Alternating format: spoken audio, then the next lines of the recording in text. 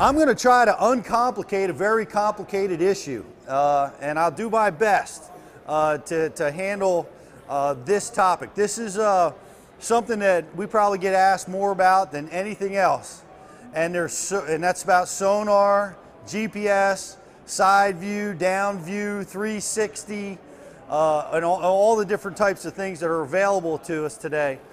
And uh, and I'm going to I'm going to tell you how I use it, and I'm going to tell you about some new stuff that I'm going to try to learn this year, uh, along with the rest of us, because it's brand new. It's going to be hitting the water for the first time this year. Some some things, and uh, and I know Ish is a Lowrance guy, and I know if you have any specific questions about uh, that product, I'm sure Ish can handle that for you as well. But um, the first thing I'm going to talk about and, and I talked already when we were in a breakout session about getting confidence in your sonar, understanding what you're seeing and how to act on it. How many people see been out there with their sonar and it, it's lit up with fish, but you can't make them bite? Or you're seeing stuff and you just don't know what it is or what it means to you. Uh, I'm going to try to help you gain some confidence. If I, if I can do that in the next hour, I'll be real, real pleased with that, and I'll, I'll tell you how i i have done it. And I'm going to talk a lot about, because there's so many good brands out there. There's uh, Lowrance, there's Humminbird, Garmin's coming out with some fantastic new stuff. Uh, there's Raymarine. Uh, there's, uh, there's a lot of great sonar companies out there that are really jumping into the freshwater fishing market, making some brilliant electronic stuff for us to use. Um, I want to challenge you to, to use it, but not to get so caught up in it that it distracts you from your objective, which is what? Catching fish, right? That's what we want to do. We're, we're using this stuff to catch fish. And we want to make sure that the things that we're, we're, the time we're spending with it are designed to help us better understand how to catch fish. One of the things I do on Lake Erie a lot, and all big bodies of water, is that they're massive, right? It would take an eternity to idle the entire lake system. So what I've learned to do is recognize what a bass looks like at 30 miles an hour on your sonar unit. That is so important. I don't even stop to fish on, when I'm fishing offshore at Lake Erie or the bigger lakes unless I see the markings that tell me that there's some fish there. And at 30 miles an hour, usually a fish is going to look like the tip of your finger stuck on a rock pile or coming up off the bottom. That's it. He's going to be on cover and it's going to look just like a little blip. And the reason why that is, is when you're going that fast, the cone on your sonar is moving so fast, a fish is only in that cone for an instant.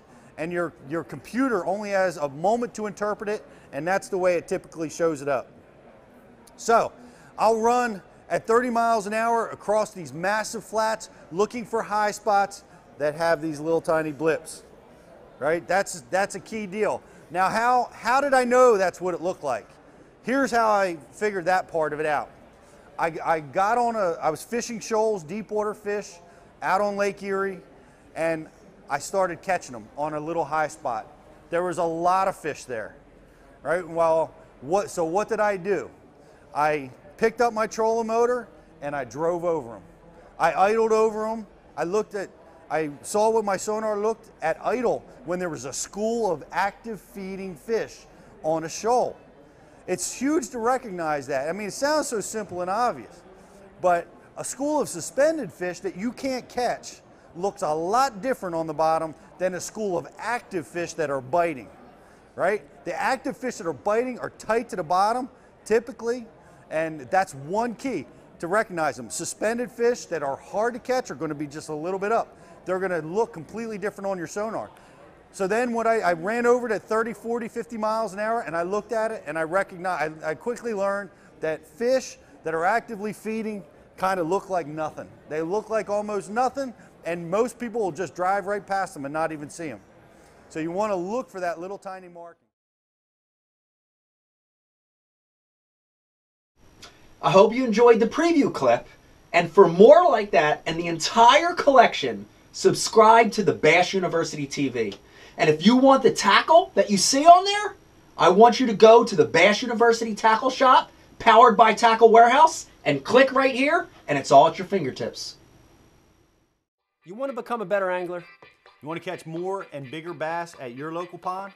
Then check out Bass University TV for hardcore bass fishing information. Hey, I'm Pete Gluszek, And I'm Mike Iaconelli. and this is Bass University TV.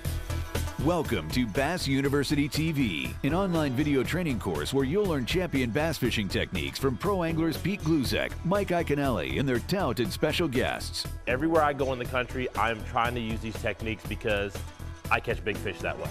From on the water to in the classroom, We want to use that bait to help make that area even smaller and really, really find that sweet spot. you'll learn sound techniques and strong fundamental bass fishing skills.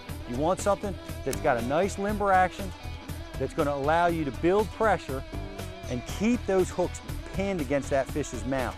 Watch hours of video content on multiple topics at your own pace for a low monthly fee. Cancel at any time. Hold on, because you're going to catch some big fish. Information is power in the sport of fishing, so learn from the very best. That's a key theory in all of fishing. Subscribe to Bass University TV today. Man, does it trigger a lot of strikes.